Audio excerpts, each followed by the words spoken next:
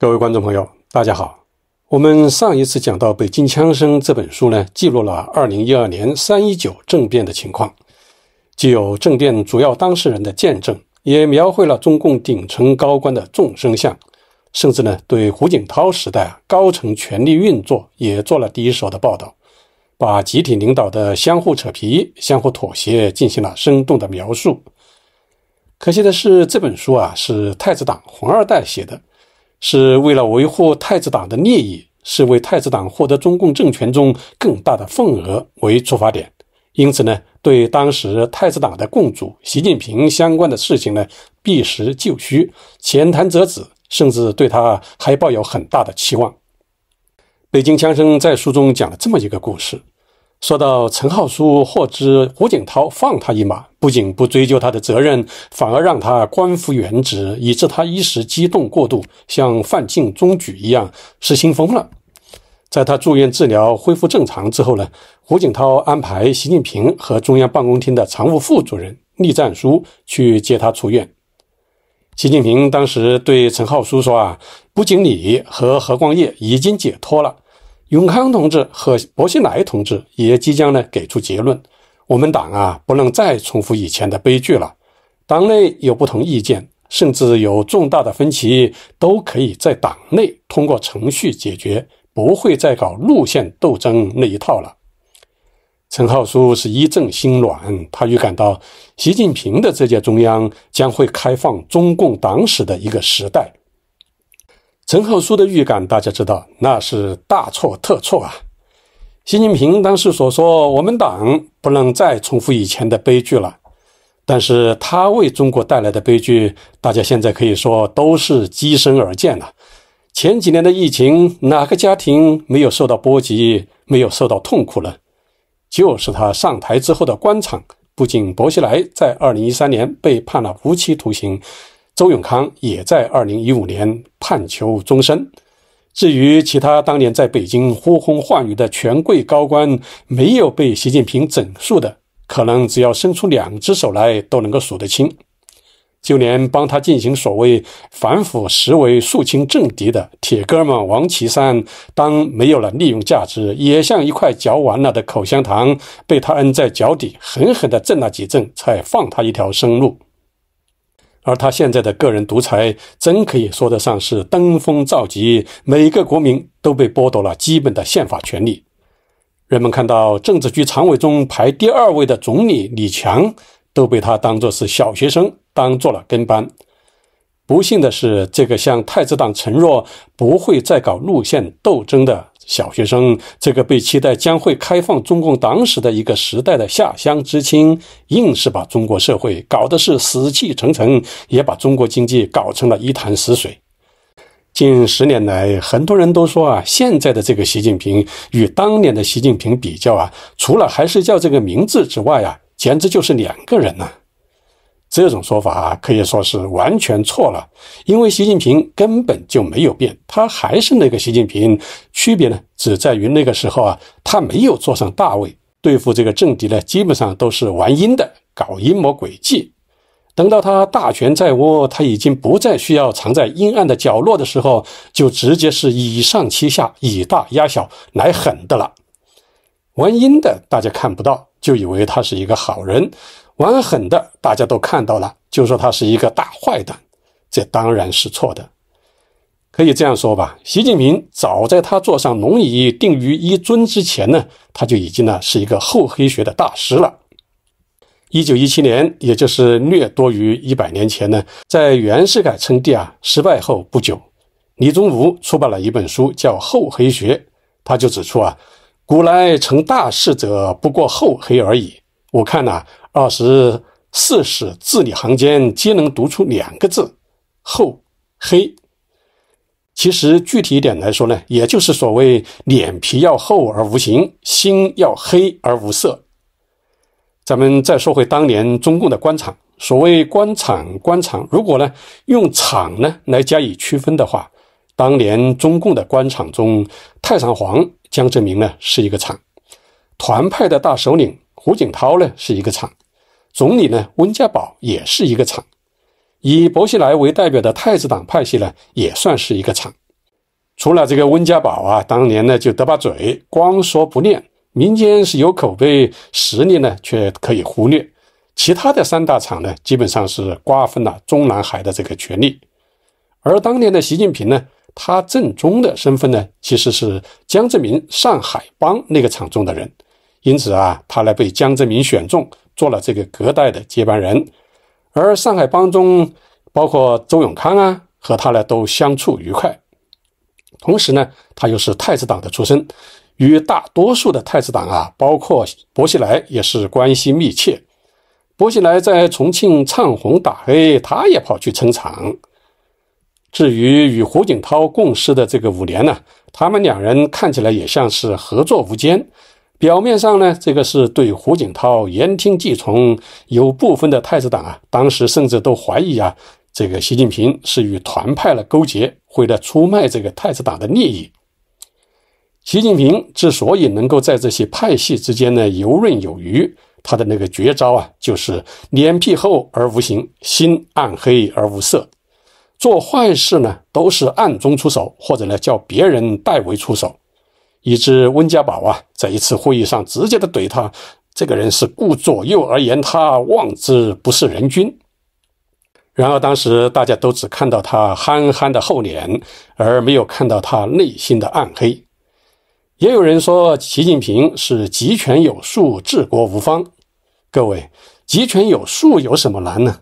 厚黑两个字而已嘛，口里面叫哥哥，背后面摸家伙，根本就不需要你有什么多聪明啦，多能干呐，只要你够狠够阴，你就有可能胜出嘛。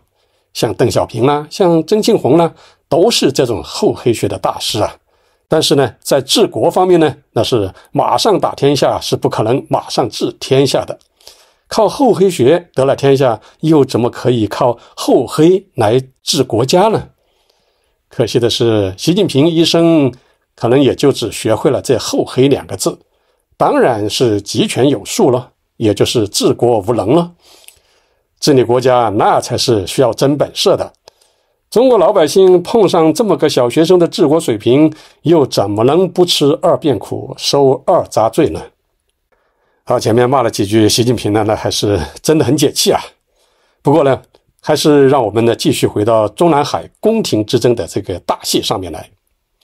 刚才说到厚黑，其实呢，与习近平同属江派的周永康啊，也是个厚黑高手，可能呢，也是最早呢看出来啊，习近平厚黑嘴脸呢，并且呢加以防范的人。说起当年的周永康，他可不是什么好鸟。要说到当年中共高层领导人当中啊，谁最坏，谁最令人讨厌，谁的口碑最差，那一定是周永康莫属。作为中共的政法沙皇，同时呢，也是作为江派的大将，他他基本上干的都是脏活累活，得罪的人最多，害的人呢也是最多，当然干下的坏事呢也是最多。他借着这个维稳之名啊，对民间社会啊，对维权人士啊，对民运人士啊，对法轮功的这个迫害啊，可以说都是在习近平之前呢下手最狠的一个刽子手。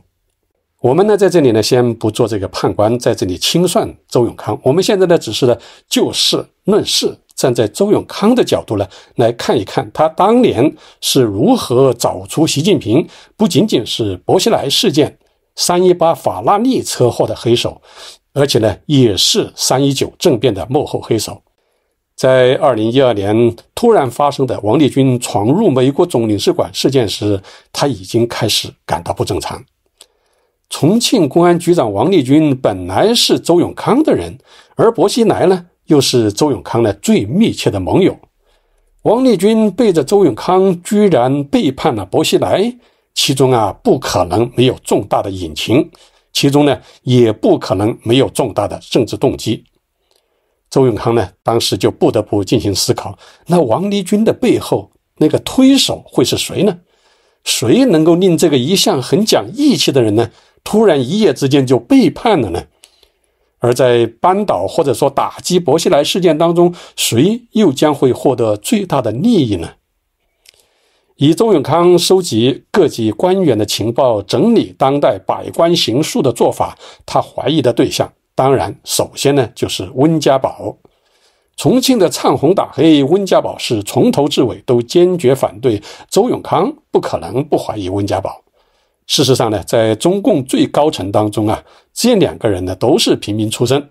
他们晋升的路呢虽然是不同，但是呢，他们在大学时候其实学的专业还挺接近的，一个是石油专业，一个是地质专业。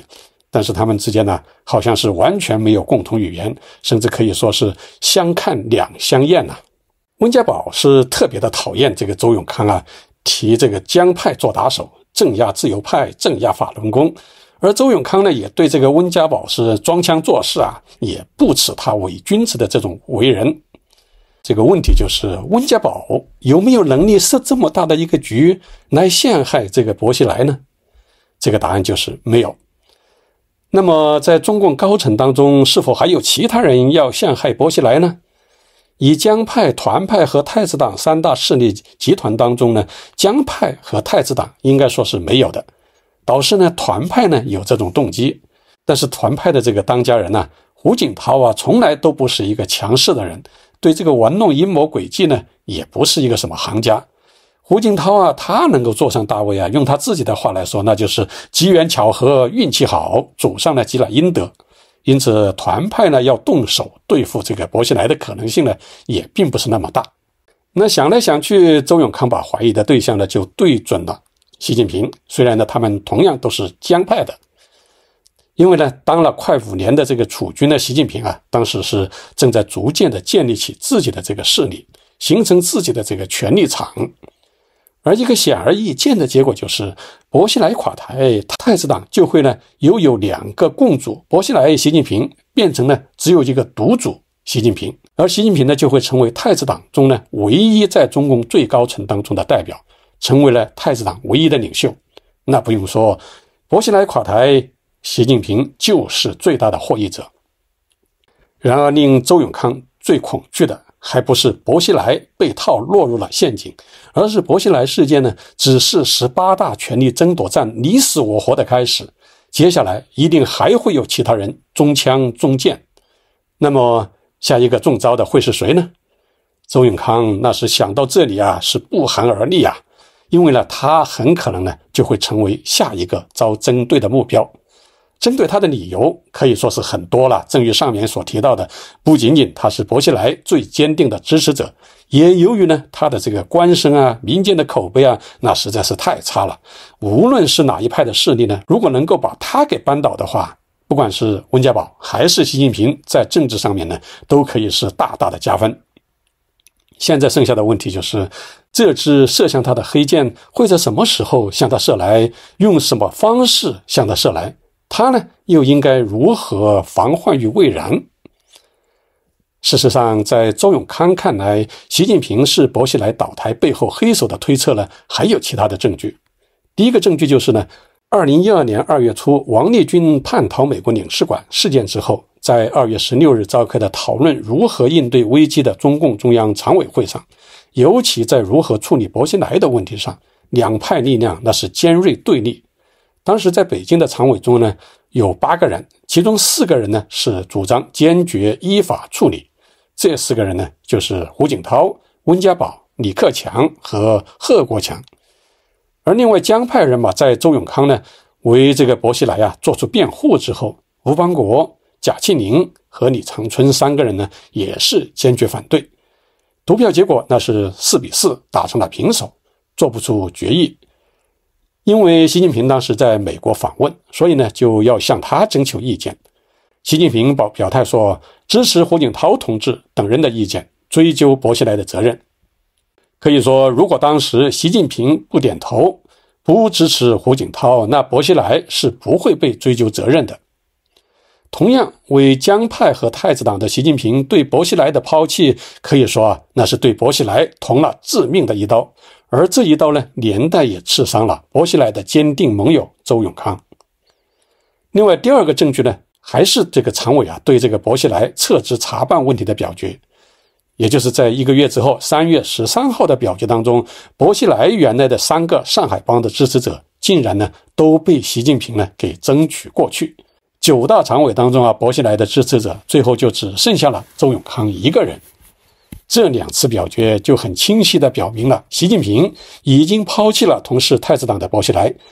如果说的很辣一点的话，那就是出卖了薄熙来；如果再想的狠毒一点的话呢，那就是习近平搞垮了薄熙来。当三月十八号凌晨发生了法拉利车祸，中央办公厅主任宁计划的儿子宁谷车祸惨死之后啊，周永康深知是牵连甚大。不惜呢以这个政法委书记的身份呢亲自介入调查，最后呢还把他对车祸的看法在三月十九号的凌晨两点与宁计划呢进行了沟通。由于是时机太过巧合，车祸现场呢也有足够证据，他认定是习近平深度介入了这起车祸。而三一八车祸呢也令周永康本能地感受到针对他的阴谋已经是越来越近，所以啊。当陈浩书和何光业这两个太子党、薄熙来的铁哥们来找他搞政变的时候呢，他就觉得其中有诈。虽然他并不怀疑啊这两个人对薄熙来的友谊，但是他却不得不担心陈和两人可能在不知不觉当中呢被人当了枪使，也就像这个薄熙来案中的王立军一样呢，成为了习近平的打手。因此，这就是周永康花了一整天的时间，在和陈浩书、何光业两人打哈哈，一直拖着却不表态支持政变的原因。这也是呢，在三十八军进京草草收场之后，他能够理直气壮地在政治局常委会上呢为自己辩护的理由。还有一点令周永康抗拒他们提议的就是，陈浩书和何光业告诉他，在找他之前呢，何光业呢已经去找过另一个太子党。当时呢，解放军总后勤部的政委刘源。我们回头再来说说薄熙来落马之后，陈浩书、何光业决定采取军事政变的方案。那么，谁是他们首要的合作对象呢？其实想都不用想，当然是手上掌握有军队的刘源上将了。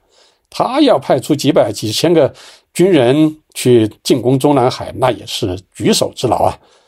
但是刘源怎么会和他们搞政变呢？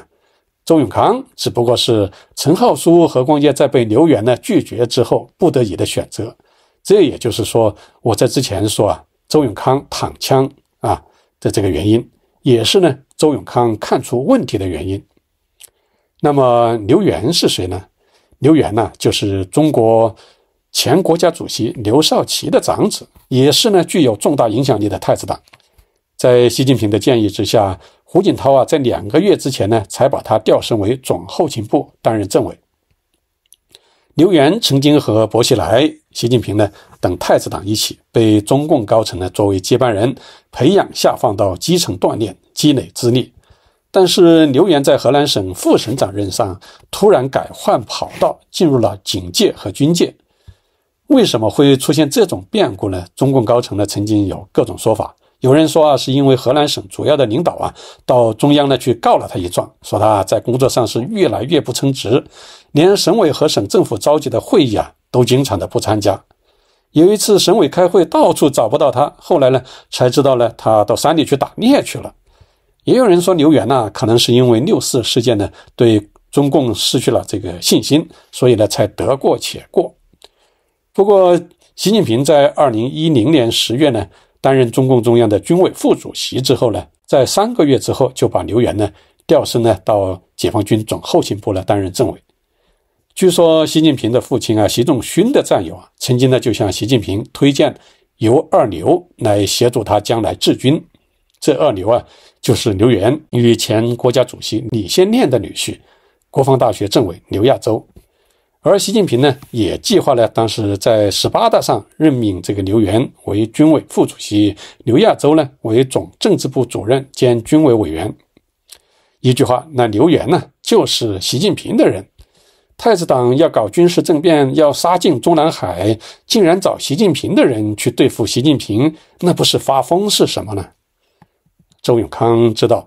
如果不是发疯的话，那就是别有用心。所以陈浩书、何光业是别有用心吗？总之，在周永康看来，这两个人当时啊，完全是在胡言乱乱语，是不可信任的。另外，习近平呢自己呢，也在政变事件当中呢，留下了好几处破绽。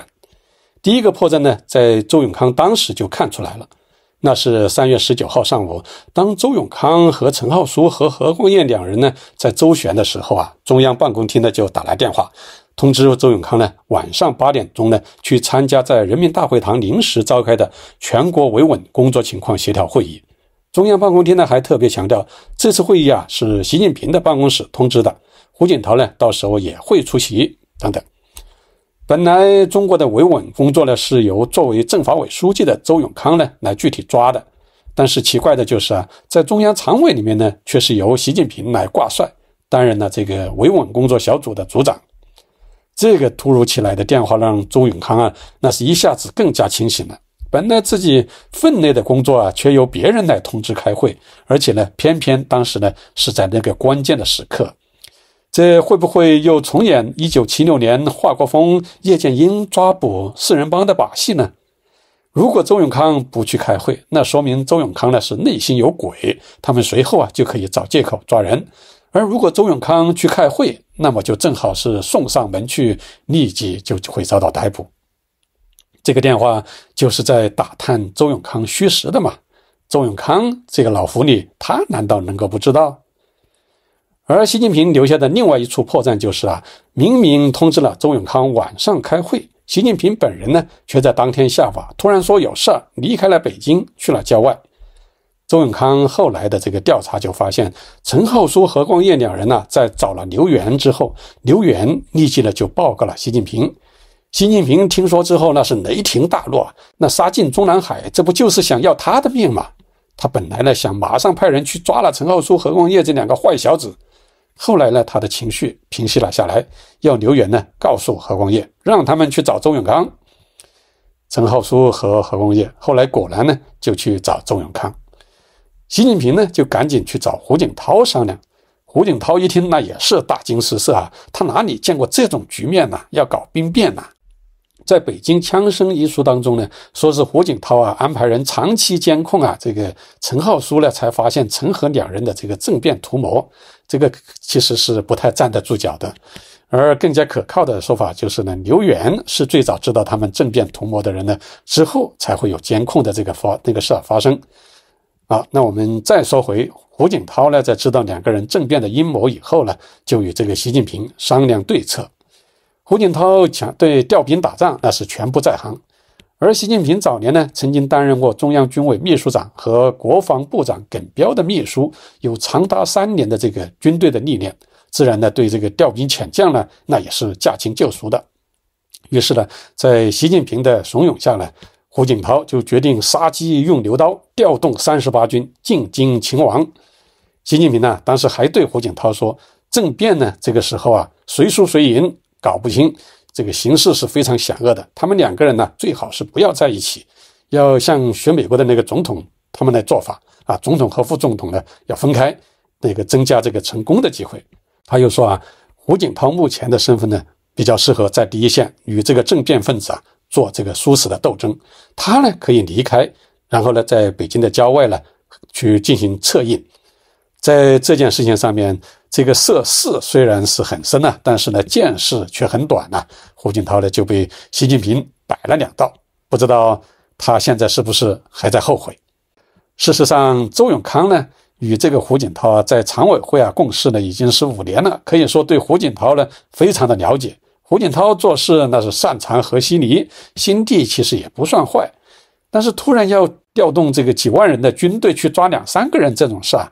绝不会是胡锦涛所能够做得出来的。事实上，如果要捉拿陈浩书和何光业，中央警卫局一个营的人马就足够了嘛。胡锦涛最后却是舍简单求复杂，舍小求大，在背后啊，一定是被人呢蛊惑。当了解到这个消息的时候，周永康当时都怀疑这陈浩书何光业啊去找他，用的可能就是苦肉计啊，根本就是习近平派他来。派他们两个人来要整他周永康的，这也就是后来陈浩书和何光彦两个人在逃亡的时候啊，他下令公安部呢要找到这两个人是可以格杀胡乱的原因。而第三个破绽就是啊，胡锦涛后来不追究这个陈浩书和何光业的责任，胡锦涛对这两个人可以说那是恨到了极点了，甚至是不惜调动数万军队进京。早知今日，何必当初？怎么可能就把他们给放了呢？陈浩书都被这种做法一下子弄得了失心疯，可见的那是极不容易做出的这个决定。放了他们这两个政政变的主谋，那对胡锦涛是一点好处都没有的吧？啊，知道内情的人就说，胡锦涛之所以把陈浩书和何光业呢放了不追究啊，这个真正的原因就是呢，习近平就是当时啊以这个太子党掌门人的身份向胡锦涛求情的结果。习近平为什么会要胡锦涛放陈浩书和何光业两人一马？两大理由，一个就是笼络太子党，一个呢就是他们两个人呢去找周永康呢有他的因素在里面。周永康了解到这三大破绽之后，那是什么也不用说了，同是江派的面纱撕下了，从此呢就和习近平结下了不共戴天之仇。一向呢都是心狠手辣的周永康，在退休前被人摆了一道，怎么能咽下这口气？由于十八大是近在眉睫，他想要在政治上打倒习近平已经没有了机会，那怎么办？周永康呢开始策划了对习近平进行暗杀。当年夏天呢，在北戴河会议前后呢，周永康至少是两次试图呢暗杀习近平，一次啊是在会议室。这个放了定时炸弹，另外一次呢，就是趁习近平在三零一医院呢做体检的时候打毒针。可惜的是，这两次暗杀行动啊都没有成功。各位，这一期呢就偏重于评论和分析，也比较长，呃，并没有讲一些具体的这个故事发展。不过呢，我下期呢就会给大家啊爆一个大瓜，解决呢关于习近平的一个大谜团。那是什么大瓜呢？是什么谜团呢？我们下一次再谈，谢谢大家收看，再见。